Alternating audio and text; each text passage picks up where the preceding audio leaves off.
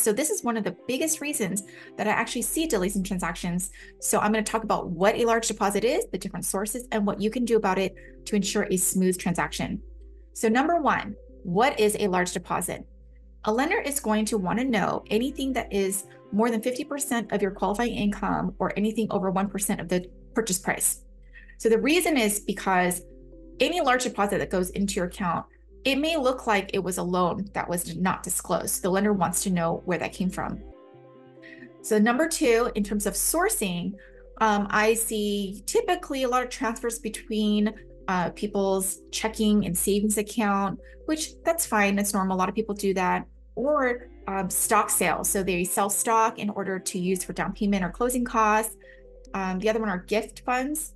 And the most recent one I actually saw was a buyer had to uh, send us their updated uh, stock statement because it was at the month end.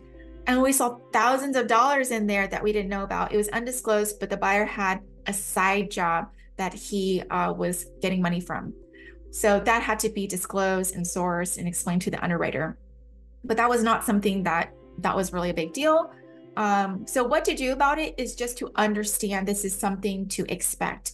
The lender needs to see all uh, statements two months before the transaction and also during the transaction.